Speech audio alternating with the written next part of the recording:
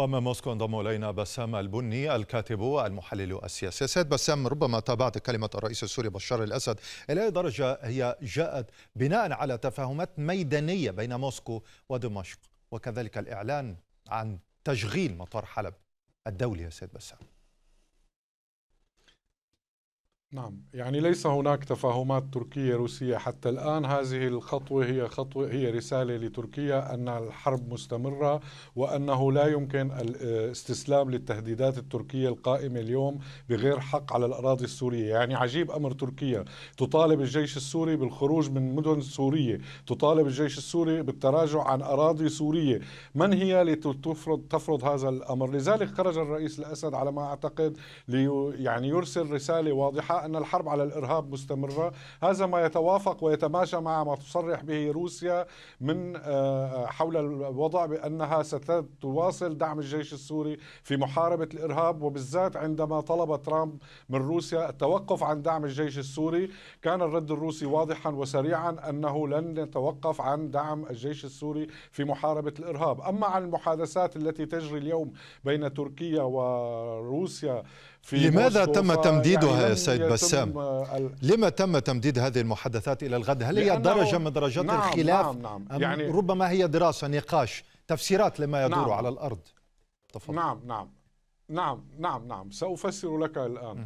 آه صديقي يعني تركيا سمعت من روسيا في اللقاءات السابقة وفي لقاء اليوم ما لا تريد أن تسمعه. يعني هناك تسريبات عن أربع نقاط مهمة تطرحها روسيا على الطاولة.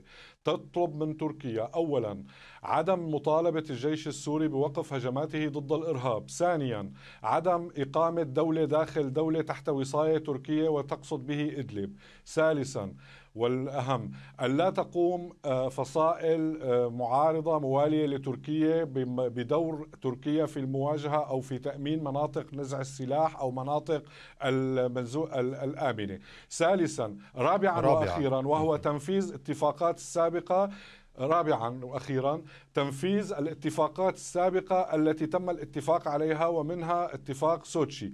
وروسيا أسمعت تركيا أن الجيش السوري ليس هو من لا يلتزم بهذه الاتفاقيات وإنما تركيا، هذا ما يزعج الأتراك ويجعلهم يقومون بتعزيزات عسكرية قادمة، الشيء المرعب في الأمر يعني كما يقول ستينسلافسكي أبو المسرح الروسي أنه إذا كان على حائط المسرح معلقة بندقية لابد أن تأتي الأحداث وهذه البندقية تطلق النار، إذا أطلقت النار ستقوم حرب شاملة وهذه الحرب طيب لا ما الذي يضمن إلى أين الضمان يا سيد بسام؟ ولا أحد هناك جنود أتراك ولهم سلاح وهذه الشرارة التي تتحدث إلينا الآن كيف نعم يمكن نعم تلافيها أو تفاديها الآن؟ نعم نعم ما قصدته أنا أن وجود الآليات العسكرية التركية التي ترسلها تركيا كل يوم بغير حق إلى الأراضي السورية يجعل موقف خطير للغاية. ممكن أن تقوم مواجهة شاملة بين الجيش السوري والجيش التركي. هنا لن تقف روسيا واقفة متفرجة لأن الموقف الروسي واضح وصريح أن الجيش السوري حليفنا ولا نسمح لأحد بإسقاطه بالقوة. آه، روسيا آه، بشكل دائم تكرر وتقول أن لا أنها ضد أي تدخل بشؤون سيادة الدول بالقوه تغيير الأنظمة، بعض التصريحات التركيه المتطرفة ذهبت إلى القول أنه يجب على الجيش التركي الذهاب إلى دمشق وإسقاط النظام بالقوة، هذا الأمر روسيا مرفوض قولا واحدا وكليا، وكل التصريحات السابقة واضحة حول هذا الموضوع، أيضا أضف إلى ذلك أن تركيا يعني أسقطت أوراق التوت التي كانت تستر بها عورتها حول أنه واضح. ليس لديها أطماع في سوريا. هذا الأمر ما يقلق الروس بشكل كبير ويجعل المعركة قادمة لا محالة. سنرى مخرجات الغد هناك اشتباك روسي تركي مباشر. سنرى المخرجات بالغد يا سيد بس آه، هناك اشتباك أشكرك مخرجات جزيلا. الغد صديقي قد